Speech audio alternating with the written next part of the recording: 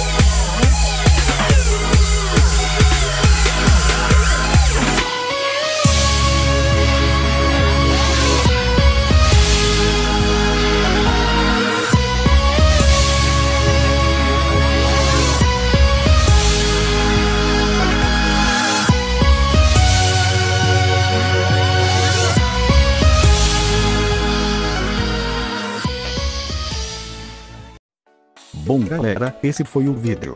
Então, gostaram do Freeza Dourado e do Gohan Blue?